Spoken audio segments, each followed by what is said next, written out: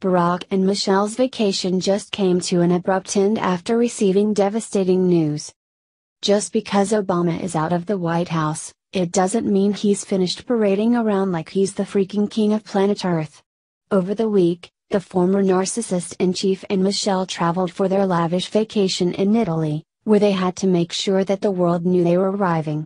The royal couple conspicuously arrived in the central Italian region on Friday, where their private jet was escorted by an alarming six fighter jets, complete with a 13 car motorcade, that we are paying for, as they headed to a $15,000 a night private villa.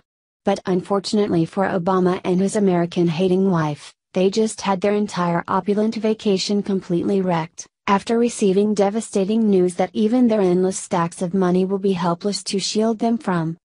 Throughout his two terms in office, Obama and Michelle lived high on the hog thanks to the American taxpayers, as they jet set around on our dime with their luxurious excursions whenever their black little hearts had half an inkling.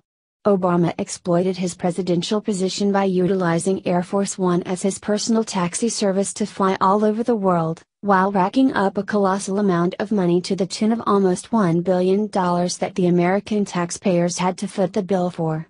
But now that Obama and his snotty wife are out of office, their narcissism and contempt for the American people are now coming back to bite them in the ass in a massive way.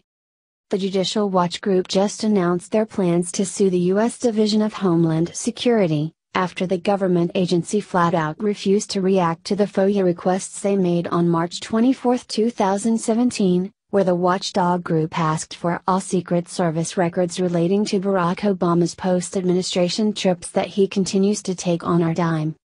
From Judicial Watch Judicial Watch announced that it obtained records from the Secret Service and the Air Force in response to Freedom of Information Act, FOIA, requests that show Obama family travel cost taxpayers a grand total of $99,714,527.82.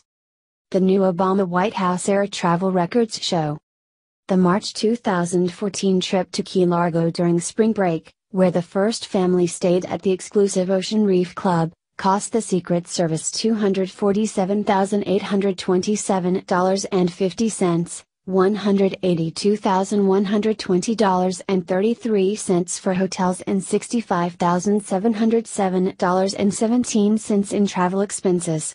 The total cost of that trip with previously released $885,683 and flight costs from the Air Force is $1,133,510.50. Other documents show that Michelle Obama's February 2015 Aspen vacation cost the Secret Service a total of $64,807.41, $47,109.28 for hotels, $3,559.43 in rental cars and $14,138.70 in other travel expenses.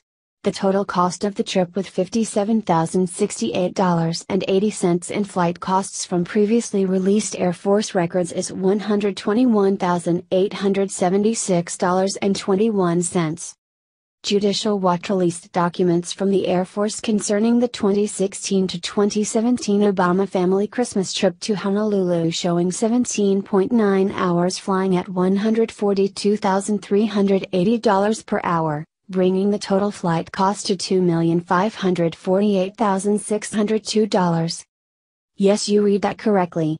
The Obamas leeched a whopping $1 billion freaking dollars from Americans for all their lavish vacations.